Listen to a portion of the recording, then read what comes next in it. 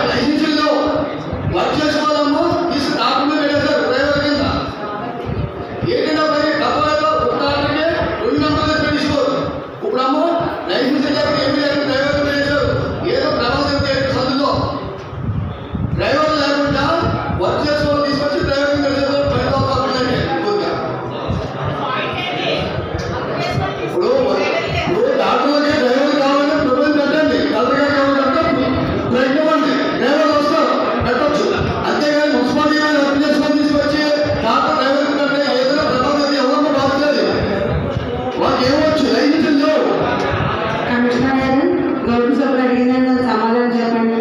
ఆయన అడిగిన తర్వాత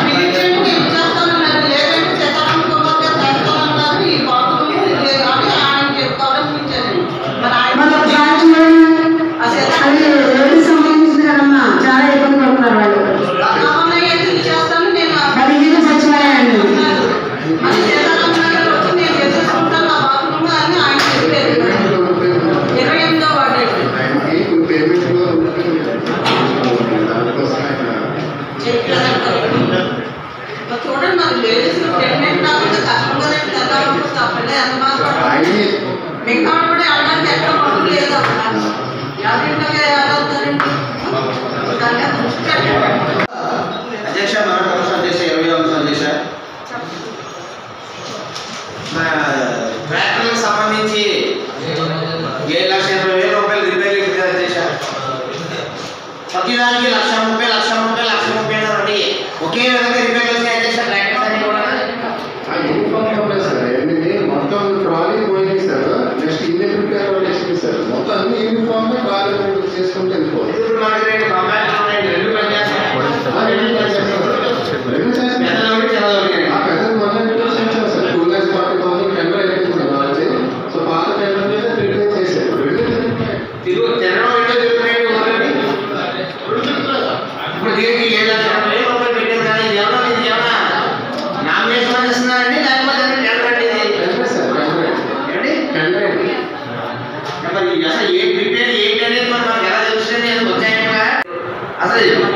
ఇండస్ట్రీ ఏంటి?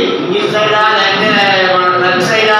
లేకపోతే ఎయిర్లా మొత్తం డ్రగ్స్ అన్ని కొత్త చేయడం కొత్త డ్రగ్స్ చేయడం అంటే ప్రేమ ఉంటుంది మిగతా దాకా కొత్త చేసేస్తారు. ప్రేమ ఆట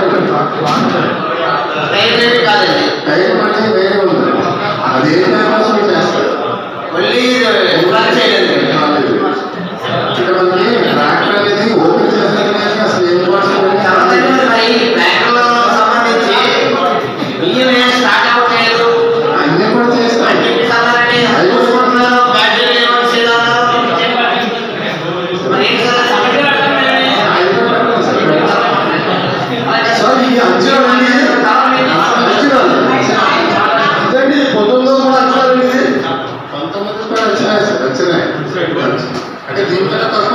রাস্তা